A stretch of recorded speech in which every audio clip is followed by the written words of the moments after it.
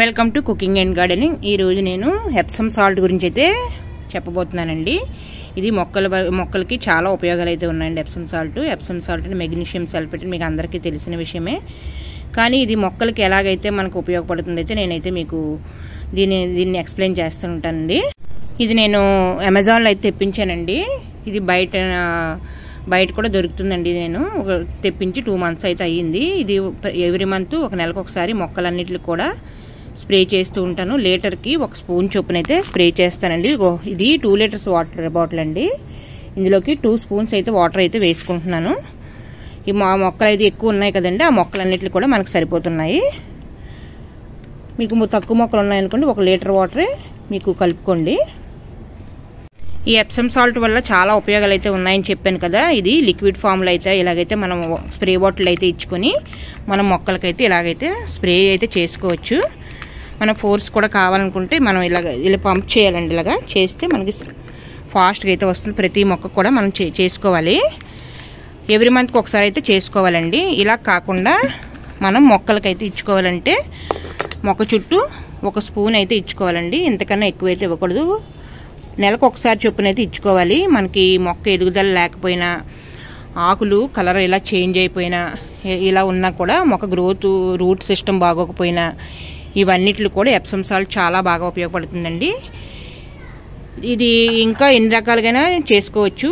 Next మనం ఎప్పుడైనా nursery నుంచి మొక్కలు అయితే తెచ్చుకుంటాం కదండి. మనం ఒక ప్లేస్ నుంచి ఇంకో ప్లేస్ అయితే మార్చుకుంటాం కదా మార్చుకునేటప్పుడు అది మనం దా ఆ ప్లేస్కి అలవాటు పడిపోయి మన ప్లేస్కి రావాలంటే అది కొంచెం కష్టమయ్యి చనిపోయే ఆ ఛాన్స్ అయితే ఉంటాయండి. అలా కాకుండా రూట్స్ డ్యామేజ్ అవ్వకుండా మనం షాక్ అయితే గురవుతుంది కదా ఆ షాక్ గురవ్వకుండా ఉండడానికి కూడా ఈ ఎప్సమ్ సాల్ట్ అయితే మనకు బాగా ఉపయోగపడుతుంది. ఇదొక పద్ధతి అండి నెక్స్ట్ ఈ ఎప్సమ్ సాల్ట్ మనం ఇలాగా మందార మొక్కలు కానీ ఏవైనా కొమ్మల కటింగ్స్ అయితే పెట్టుకుంటాం కదా. ఈ కటింగ్స్ కూడా మనకు గ్రోత్ బాగుండడం కోసం పెట్టుకునేటప్పుడు కొంచెం ఎప్సమ్ సాల్ట్ వాటర్ లీటర్ వాటర్లోనైతే వేసుకుని డైల్యూట్ అయితే చేసుకోవాలండి. ఇది కాకుండా మనకి విత్తనాలు ఏమైనా వేసుకుంటాం కదా. విత్తనాలు వేసుకునేటప్పుడు జర్మినేషన్ బాగుండడం కోసం మనం వాటికి కూడా మనం ఎప్సమ్ సాల్ట్ అయితే వేసుకోవాలి. ఇది చాలా రకాలుగా అయితే మనకి ఉపయోగం ఉంటుందండి. నేను చాలా సంవత్సరాల నుంచి కూడా నేను వాడుతున్నానండి. ఇప్పుడు ఇవన్నీ మీకు తెలుసు తెలియజేసుకోవడం కోసం ఇవన్నీ మీకు చూపిస్తున్నానండి ఈ వీడియో. ఈ స్ప్రే బాటిల్లోని ఈ మొక్కలన్నింటిని కూడా ఇలా స్ప్రే చేసుకోవాలండి. మొత్తం నాకు చాలా మొక్కలు ఉన్నాయి కదా ఇవన్నీ కూడా ఇవన్నీ కూడా ఆకుపచ్చగా ఉండడానికి అవుట్డోర్ ప్లాంట్స్కి ఇండోర్ ప్లాంట్స్కి ఇలా చాలా రకాల మొక్కలు కూడా మనకి ఈ ఎప్సమ్ సాల్ట్ అయితే ఉపయోగపడుతుంది. మనం నెలకు ఒకసారి ఇవ్వాలండి.